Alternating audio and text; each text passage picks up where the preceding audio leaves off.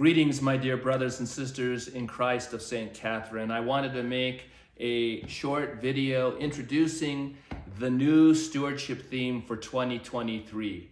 The Archdiocese really wants to make a central focus of the new year in making sure that our faithful members of the church carve out time each Sunday morning as individuals and as families to gather as the body of Christ, to attend divine liturgy, and to make the Eucharist the centerpiece of our faith and our life.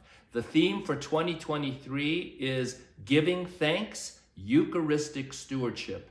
And the word Eucharist in Greek, Eucharistia, means thanksgiving.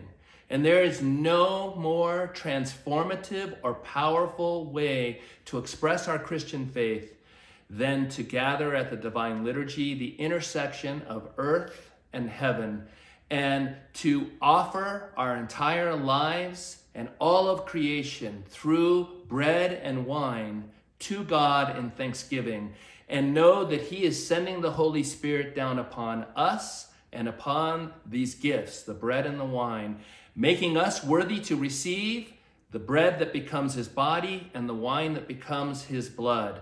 And we are gifted with intimate communion and union with God through the Eucharist and intimate and close communion with one another by partaking as individual members of the one bread, as St. Paul says. My dear brothers and sisters, it is so important for us to realize that God gives us our life, our talents, our time, our material possessions and treasures as a blessing. And He wants us to realize that blessing and give it back to Him in thanks and give it to the world around us, constantly through our life, being the hands and feet of Jesus and pointing the way to Christ to those all around us who do not know Him. So, giving thanks, Eucharistic stewardship is a beautiful stewardship theme for 2023.